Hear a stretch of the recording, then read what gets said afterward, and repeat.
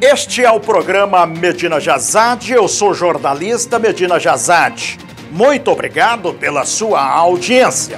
Você de Uberaba, no Triângulo Mineiro, a minha querida Uberaba, né? Você de todo o Brasil e você também do exterior que acompanha o nosso programa e gosta do nosso programa, eu agradeço pela sua audiência. Olha, se você não fez ainda, é hora de você fazer uma visita ao nosso site e fazer o pedido do seu produto. No site Medina Jazade, você encontra centenas de produtos, inclusive produtos amostra grátis. O produto amostra grátis, você só paga o frete e recebe o produto na sua casa, no conforto da sua residência, em qualquer parte do Brasil. Você está esperando o quê? É hora de você fazer uma visita ao site Medina Jazade e fazer o pedido do seu produto. www.medinajazade.com Vamos então, combinado assim? Fazer uma visita ao nosso site e fazer o pedido do seu produto. Você vai receber no conforto da sua casa, em qualquer parte do Brasil, o seu produto. Agora vamos até Mato Grosso. O que, que aconteceu em Mato Grosso? Vamos exatamente na cidade de Cáceres. Ontem, por volta das 18 horas, um homem estava tomando cerveja em um bar. Quando de repente, quem aparece ali? Dois elementos em uma moto. Dois assassinos em uma moto. O garupa desceu da moto, simplesmente calado, sim, olha, simplesmente calado. O bar estava lotado. Ele se dirigiu até a mesa onde estava o homem tomando cerveja.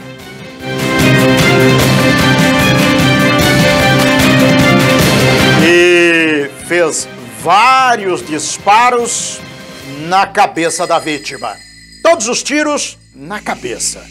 Todos os tiros na cabeça. A vítima, Assis Francisco Filho, de 41 anos. Assis Francisco Filho, de 41 anos. Teve morte no local. Esses é, são os populares, são os chamados pistoleiros. Né? Esses são os, pisto os verdadeiros pistoleiros. Já encomendado, evidentemente, a vítima já tinha uma encomenda pela sua cabeça.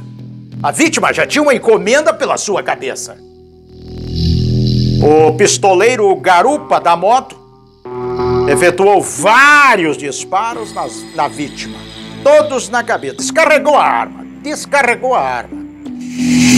A polícia trabalha para identificá-los, evidentemente a polícia trabalha para identificá-los e vai chegar até os criminosos, segundo o delegado de polícia de Cáceres, Mato Grosso. Cidade fica a 225 quilômetros a oeste de Cuiabá. Cáceres. 225 quilômetros a oeste de Cuiabá fica a cidade de Cáceres. Crime esse que já tinha uma encomenda, evidentemente, pela cabeça da vítima. Esses são os famosos pistoleiros.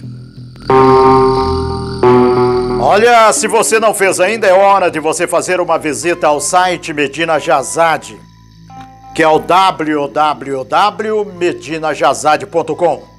No nosso site você faz o pedido do seu produto amostra grátis.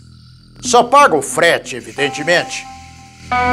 e recebe o produto no conforto da sua casa através dos correios ou de uma transportadora em qualquer parte do Brasil. Você está fazendo o quê? Faça o pedido agora. Neste você pode confiar. É coisa nossa, é coisa boa. Site Medina Jassat. Agora nós vamos falar um pouquinho ainda de Mato Grosso. Exatamente.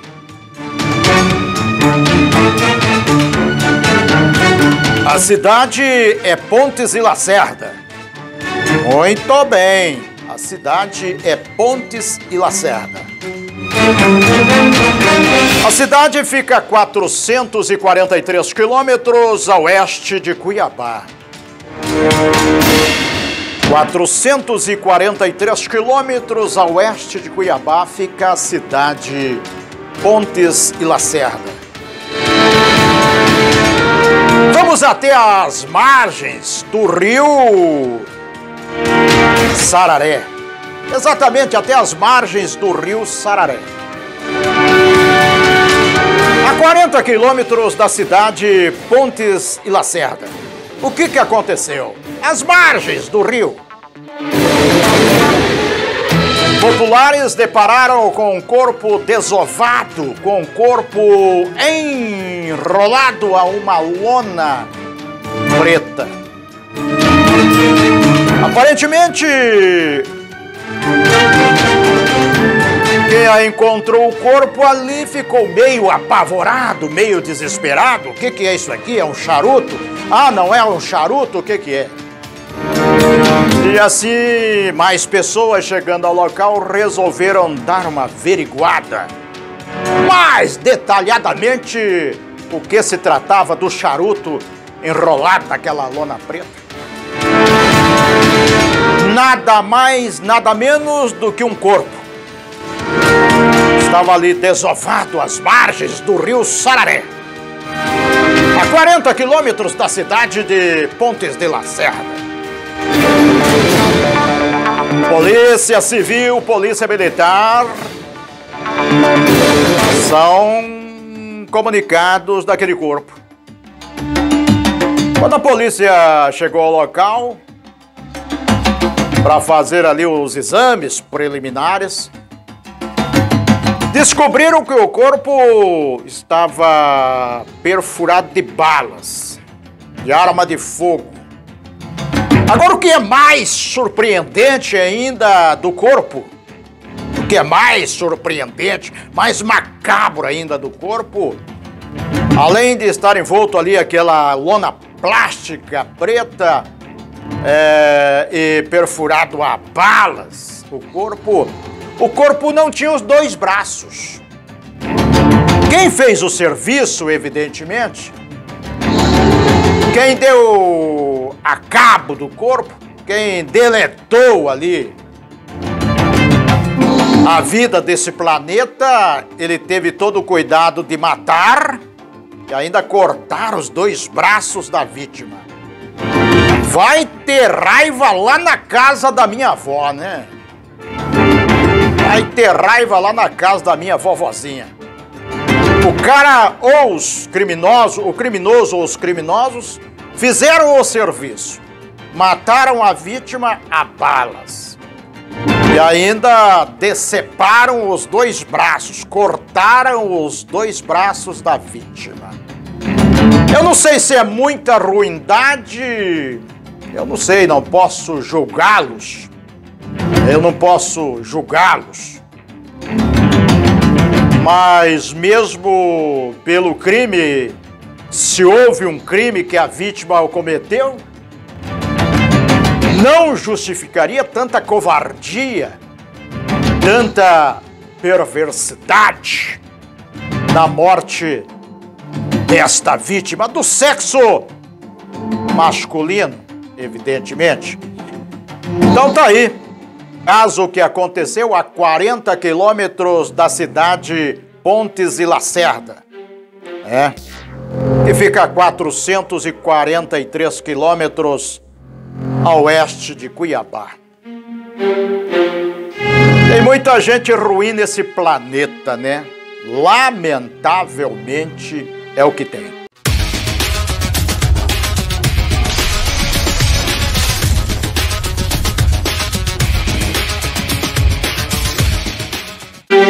Olha, este é o programa Medina Jazade. Eu sou jornalista Medina Jazade. Muito obrigado pela sua audiência.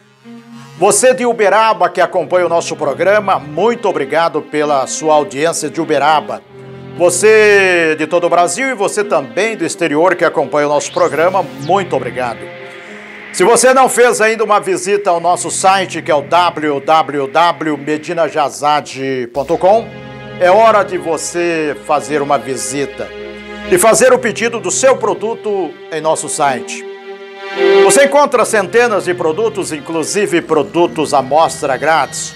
O produto amostra grátis você só paga o frete e vai receber o produto na, no conforto da sua casa, em qualquer lugar do Brasil, em qualquer parte do Brasil, através de uma transportadora ou através dos correios. Se você não quer fazer o pedido do seu produto amostra grátis, pode escolher outros produtos em nosso site, você vai encontrar centenas de produtos. Ok? Então compre no site Medina Jazade. Neste você pode confiar, é coisa nossa, é coisa boa. Ainda vamos falar da cidade, olha aí, em Cuiabá. Ontem, por volta das 20 horas, a residência de uma mulher de 60 anos foi invadida por três homens. Segundo ela, segundo o relato desta senhora de 60 anos de idade, são três haitianos. Segundo ela, três haitianos. O que que os bandidos, o que que os vagabundos fizeram? Arrastaram para um matagal e a estupraram por mais de uma hora.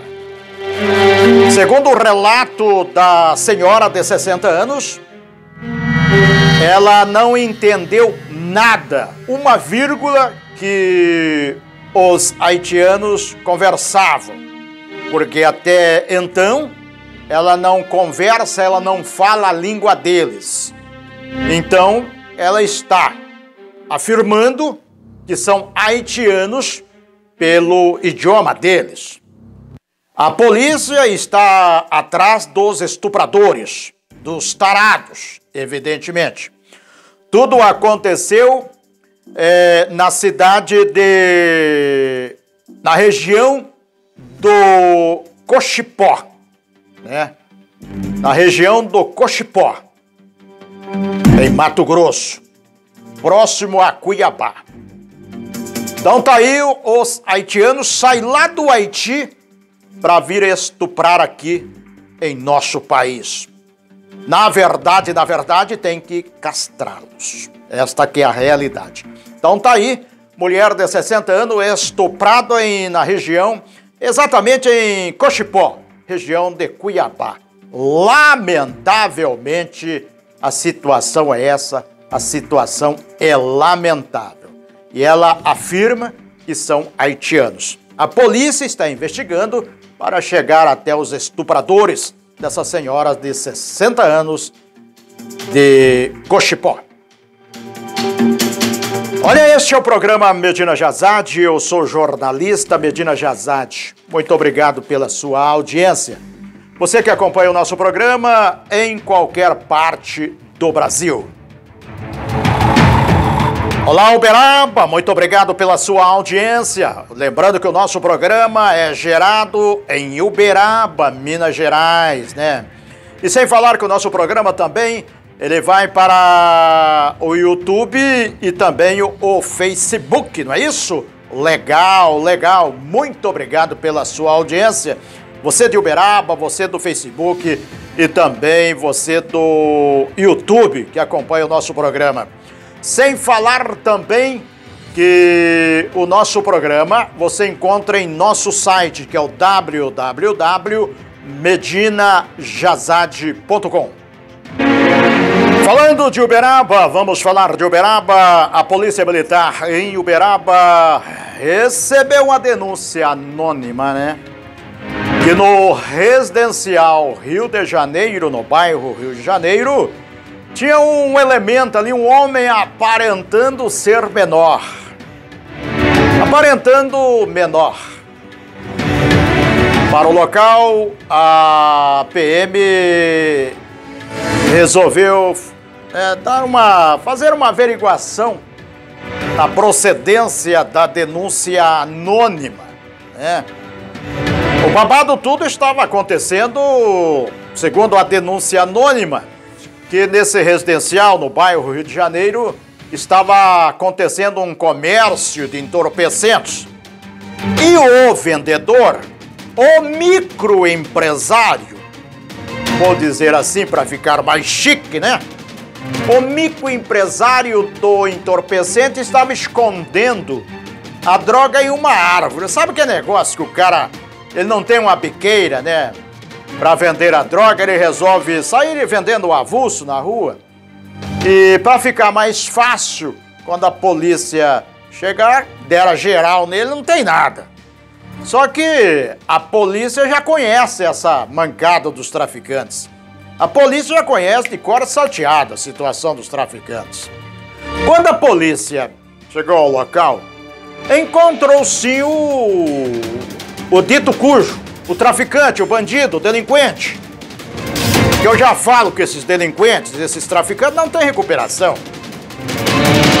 Ele, quando o cara que é traficante, o cara que é bandido, é ladrão, quando ele nasce lá, a hora que o médico tira ele lá da onde ele vem, se o médico tem um relógio, a, a enfermeira tem um relógio, uma aliança, ele já sai afanando, ele já sai roubando tudo.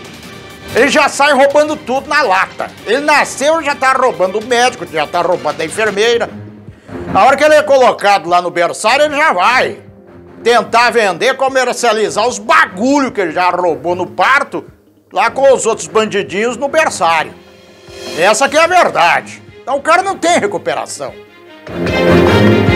Tem que colocá-los no caldeirão, que eu digo sempre. Tacar fogo no rabo do caldeirão e derretê-los. Eu adoro quando esses caras, esses bandidos, trocam tiro com a polícia. Eu adoro, eu curto de montão. Trocou tiro com a polícia, a polícia tem que matar. A polícia tem que mandar bala. É, a polícia tem que mandar bala. Semana passada em Uberaba, a, cinco bandidos de roubo de cargas resolveram trocar tiros com a polícia. Adivinha? Todos os cinco em Uberaba morreram em confronto com a polícia. Que felicidade que eu sinto, viu? Resolveram trocar tiros com a polícia militar em Uberaba. A polícia matou todos os cinco bandidos. Se você está pensando em vir fazer rolo em Uberaba, pensa duas vezes. A polícia aqui mata. Muito bem, obrigado. Apaga a luz, a luz e fecha a porta. Quero mandar o meu abraço aos policiais do 4 Batalhão, ao comandante do 4 Batalhão da Polícia Militar de Uberaba. A todos os policiais, os componentes da Polícia Militar de Uberaba, aquele abraço do programa Medina Jazade. Só completando aqui, aí a militar chega e encontra o delinquente no bairro Rio de Janeiro, menor, 17 anos. Eu não posso falar porque ele é uma criança. A lei diz que eu não posso dizer que ele fora preso, fora em cana. Ele fora apreendido. A lei diz que ele for apreendido junto com a droga, a droga também for apreendida, ele também foi apreendido. Ele não foi em cana, ele não foi preso, foi nada. Só vai à delegacia, né, dar um bom dia, uma boa noite, uma boa tarde pro delegado, os detetives vai embora para casa. É uma criança, mas aguenta pancada. A polícia tem que pegar esses caras e descer a mão na orelha deles. Porque o traficante hoje em dia já não dá mais nada. Não dá mais nada. Se pega o cara que é usuário, não dá nada. Não dá nada. A lei diz que não dá nada. Então por que? Se não dá nada, por que, que libera essa porcaria dessa droga nesse país? Se é só para ficar sujando é, é, é, papel com os policiais militares, fazendo formulário, fazendo BO, chega a delegacia de polícia, só vai, o delegado só vai ouvir, ele vai rir na cara do delegado e vai embora.